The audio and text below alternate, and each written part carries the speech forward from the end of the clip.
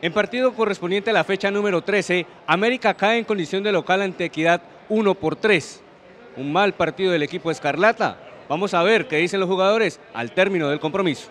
Sí, un partido, la verdad que, que bastante raro. Creo que el equipo siempre puso las condiciones.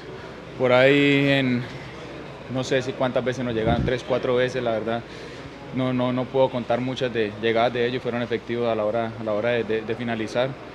Hay un golpe en el que, en el que tenemos que, que, levantarnos, asumirlo con responsabilidad, con conscientes que hay, que hay cosas por corregir, pero este es un grupo que ha demostrado que en la derrota se hace más fuerte y volveremos para, para conseguir los tres puntos en condición de visitante.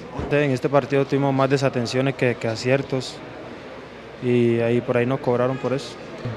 Igual el hincha, yo que no dejamos de correr a pesar de, de los tres goles y a pesar de los errores que cometimos, nos apoyaron bastante y eso es fundamental también. Queda levantar cabeza, estamos cerquita de la clasificación, tenemos equipos de atrás que nos vienen pisando los salones, solamente queda eh, aprender de esa derrota como lo aprendimos contra Envigado y, bueno, descansar porque el partido ya es el sábado, eso es lo importante, que viene una, eh, solo del fútbol, viene una revancha ya, ya en eso en el sábado, entonces bueno, eh, es importante también para, para el equipo aprender de esos errores y, bueno, clasificar los ocho lo más antes posible.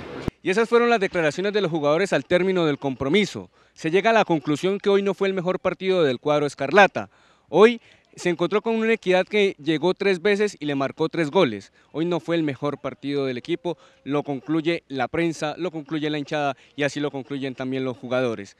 Se le abona al equipo de Fernando El Pecoso Castro la actitud, salió con una cara distinta para el segundo tiempo, logró anotar un gol para el descuento que le sirvió como impulso para llegar varias veces al arco del equipo visitante, pero lamentablemente no le alcanzó para llevarse la victoria en la cancha del Estadio Olímpico Pascual Guerrero.